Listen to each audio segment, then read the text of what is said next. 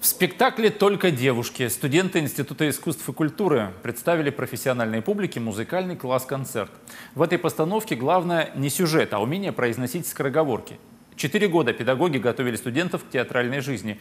Сколько же усилий нужно приложить, чтобы актеров было слышно из зрительного зала, выясняли наши корреспонденты. Нми! Нми! Нми, нме! Ну и сами. Эти необычные звуки и движения – азы сценической речи. Такая разминка у многих актеров входит в ежедневную привычку. А студенты Института культуры речевки и упражнения оформили в концерт. Пришел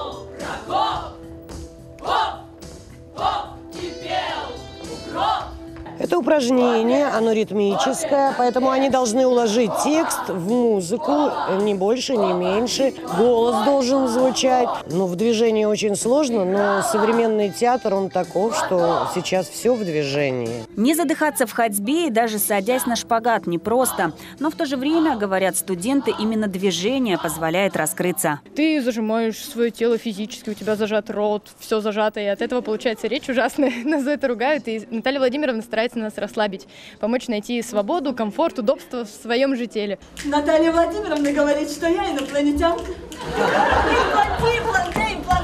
Чтобы показать э, что-то сегодня, нужно было работать на протяжении всех лет.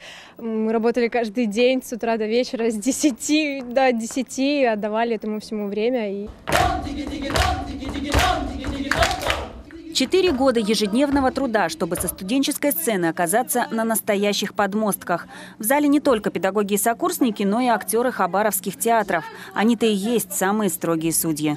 И мне интересно, как студенты э, реализуют э, задачи и замыслы э, педагогов, как они сами интерпретируют материал. Хотим, наоборот, видеть очень талантливых, выросших и ну, в общем, студент это всегда интересно. Класс-концерт – своего рода экзамен, но дошли до него, как и до четвертого курса института, только девушки. Их, уверены педагоги, обязательно заметят. Александра Романова, Мария Ежевская, Станислав Михайлов, телеканал «Губерния».